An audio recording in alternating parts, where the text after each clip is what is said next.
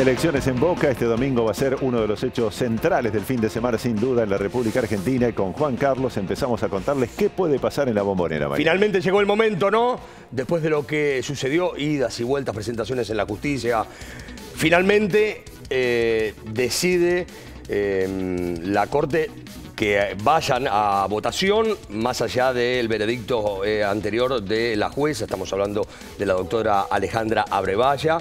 Eh, bueno, la situación concreta que eh, la oposición presentó un recurso como para que voten separado y esto sí es algo que cambió el cuadro de situación de las últimas horas que tiene que ver con que esas 13.000 urnas, 13.000 votantes que están en esas urnas, esas urnas vayan separadas, separadas, justamente dentro del mismo recinto, claro está, como lo marca la ley, pero separadas para tener la posibilidad de contarla en caso de necesitar, porque recordamos que si supera los 13 para un lado o para el otro, cualquiera de los dos que se imponga en el comicio, eh, no va a ser necesario contar. Pero sí... Pero si hubiera una diferencia menor, es probable que la oposición insistiera ante la justicia en el mismo reclamo. Exactamente, la oposición. Y en esto sí le ha dado lugar la jueza, es lo último que ha cambiado, lo único que ha cambiado prácticamente después de la decisión eh, de la Cámara de Apelaciones que eh, le dio la posibilidad a Boca de votar en allí, el día de mañana. Allí en el mapa vemos las tres carpas ubicadas en pleno césped de la bombonera. Exactamente, eh, bueno, las calles Irala, Suárez,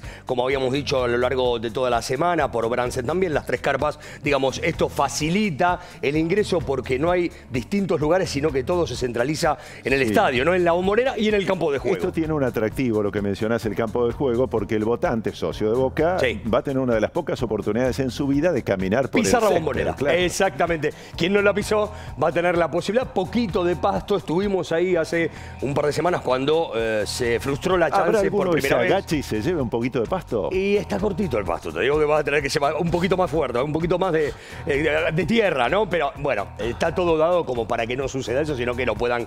Eh, es ah, justo en el perímetro del campo de juego. Además, así que informaron que todo el pasto será levantado después de sacar las carpas y van a poner un nuevo Seguramente, seguramente porque esto lo preveían después del dispositivo que significó, más la colocación de unas placas para que justamente no se pueda llegar en ese lugar al pasto y pueda eh, caminarse tranquilamente. No se camina sobre el campo de juego, sino sobre una plaqueta que está a centímetros, pero genera un deterioro, lógico. Mi, ¿no? el presidente, va, va mañana a votar? Se supone que va a estar el presidente, el flamante presidente de la Nación, Javier Milei, entre los votantes y también Martín Palermo, que ya eh, aclaró que Platense se vuelve directamente cuando vamos a estar dando detalles de lo que va a ser la final de la Copa de la Liga entre Platense y Central. Eh, esto va a ser en Santiago del Estero a las 21 horas. Eh, vuelve inmediatamente el plantel y mañana Palermo también va a estar entre los votantes de élite. Si se quiere, ya sabemos que tiene el ofrecimiento concreto de parte de la oposición de Andrés Ibarra y de Juan Román Riquelme para ser el entrenador. ¿no? ¿Sabes quién ya estuvo ahí recorriendo la bombonera y todo? me lo imagino, mira. a ver, presentala, presentala porque sabes que no se le escapa a nadie, ¿no? Laurita, vas y te hace hablar. Laura Mayo, que vamos a verlo. ¿Cómo crees que va a salir todo esto? No sé, no sé, la verdad que no sé. Eh... ¿Qué opinas de Riquelme? ¿Qué opinas de todo este proceso judicial que ha habido? Riquelme es el ídolo histórico de Boca. Eh, y Macri también nos dio la mejor época de Boca. es un duelo bastante complicado para el hincha. Pero esperemos que salga lo mejor para el club. ¿Votamos mañana? ¿Cómo? ¿Cómo? A ver. Aguante Riquelme. ¿De dónde viene? Yo de Morri.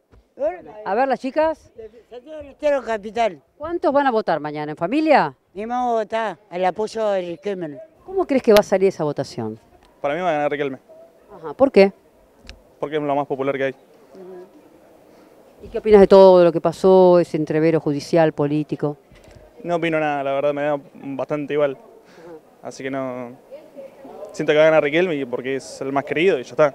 La gente va a preferir siempre al jugador estrella antes que un empresario y, y va a ganar él. Con la camiseta de Boca, ¿de dónde se ha venido? Orgullo, Santiago del Estero. ¿Ha venido para votar?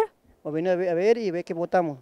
Mañana, mañana, escucha, ¿cómo es su nombre? ¿Cómo es su nombre? Esteban. Esteban, mañana no duerma la siesta, venga a votar, ¿eh? No duerme. Tampoco. Despierte y se ver el triunfo de Riquelme. ¿Usted es verdaderamente santiagueño y no duerme la siesta? De alma, no, dormimos, pero hay una acción de fuerza por boca. Bueno, ¿Cómo va a salir? ¿Cómo cree? Riquelme primero. Bueno, pero ¿va a ser bien la, elección? ¿Va a resultar bien? ¿Y es la elección justa? Riquelme gana. ¿Qué sería lo justo?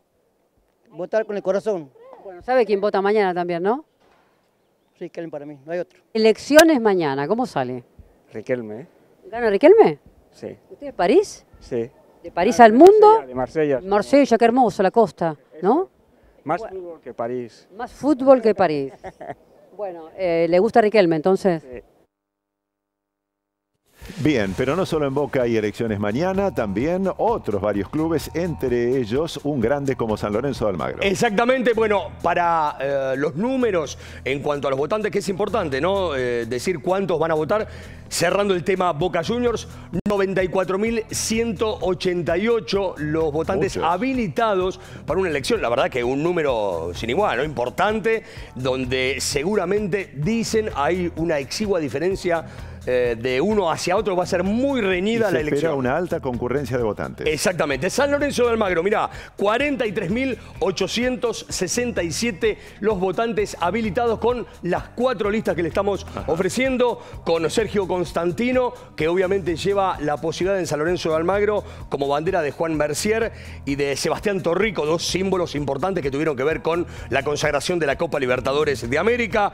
Marcelo Moretti, Néstor Ortigosa, bandera también. Néstor Ortigosa, que tomó otro camino, pero también tiene prácticamente el mismo nivel de identificación Claro. y hasta quizá más, ¿no? En cuanto a lo que fue como símbolo de esa Copa Libertadores de América tan ansiada por la gente del Ciclón. César Francis es actual miembro de la minoría en la comisión directiva. Y por últim- último, Marcelo Culota, hombre que tiene que ver, como lo dice su camiseta, sí, a la resonificación, tiene que ver con la, eh, el laburo, el trabajo constante para que San Lorenzo pueda definitivamente decir que es de Boedo y que vuelve a ese viejo estadio. Hoy lo tiene el supermercado todavía, ya lo ha conseguido San Lorenzo de Almagro para la construcción de lo que significa un hecho eh, o un sueño hecho realidad por la gente del ciclo. Así que Boca, San Lorenzo y qué otros clubes votan mañana. Tigre tenemos también con eh, novedades importantes porque justamente esta cara no la va a ver más el socio que vaya a votar en el día de mañana. Estamos hablando de Lucas